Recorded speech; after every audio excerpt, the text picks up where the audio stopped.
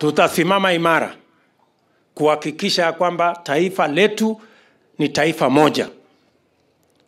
Wale wanataka tushindane kisiasa wawachane na BBI, waende wapango, wapange mambo yao ya kisiasa vile walienda kupanga Kisii. Hiyo ni sawa, hiyo ya Kisii wameenda kupanga mambo ya ODM vile wanajipanga mambo ya 2022.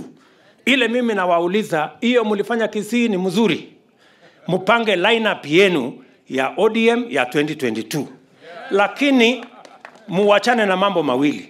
Jambo la kwanza, wachana na pesa za umma kutumia katika mikutano ya kupanga mambo yenu ya 2022. Jambo la pili, muache kudanganya watu eti mnaongea mambo ya unity, sijui mnaongea mambo ya watu ati mambo ya kuunganisha wa kenya Hiyo muambie watu wajinga.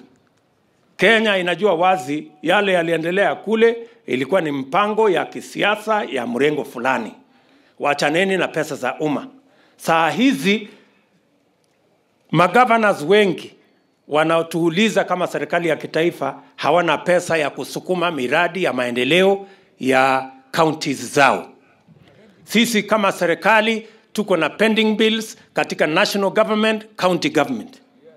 Tuko na miradi mingi ambayo imekwama kwa sababu hatuna pesa ya kutosha.